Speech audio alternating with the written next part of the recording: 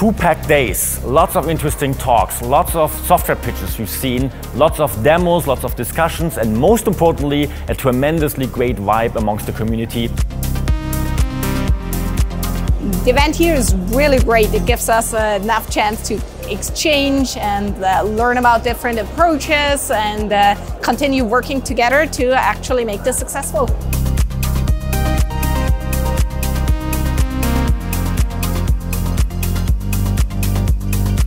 I've never seen anything as open as this. The world competition almost does not exist. And when someone has something new, they just talk about it and very open about it.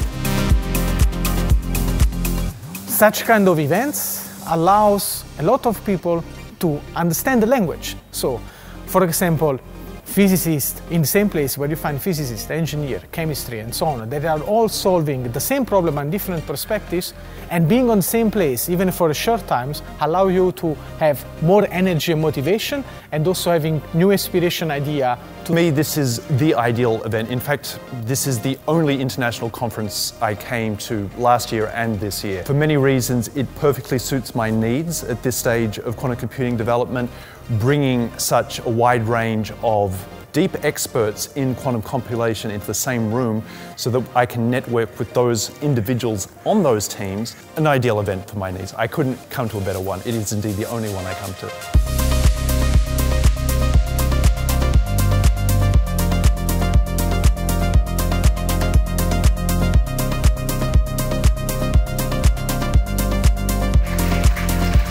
I really like the community because it brings together academia, it brings together industry, it brings together application users, and everyone has like a unique perspective on what software for quantum computing means.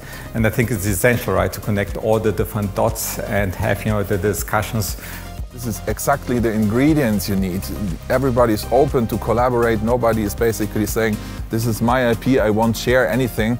And um, this is what you need to create a fruitful market, a market where uh, everybody can source everybody's other solutions and really also, again, provide the best user value in the end. The cool thing about the Munich ecosystem is you have these people next door. You can literally, you go to the next door in the office, you have the people building the devices. You go to the other door, you have the people working on applications and we can talk to all of them and try to make this a success.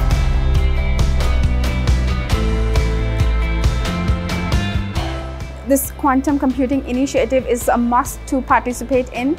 It's very important for SAP to identify the relevant use cases for quantum computing, whether it's optimization use cases or machine learning use cases, and uh, develop an algorithm so that when the hardware is ready, SAP is ready to integrate the quantum technology with their own products.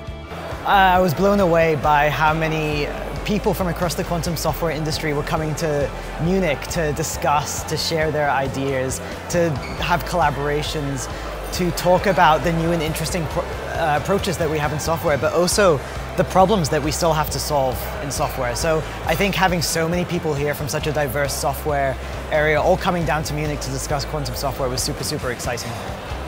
There's a really fantastic community that has been brought together, really representing a broad spectrum of the quantum software ecosystem, both from sort of a low-level hardware focus to those that are really more algorithmic and application uh, focused, and, and, really those even thinking about uh, uh, things that might come uh, next in terms of integration with an enterprise ecosystem. And so I think you really have an opportunity to get a lot of different diverse perspectives uh, here in Munich.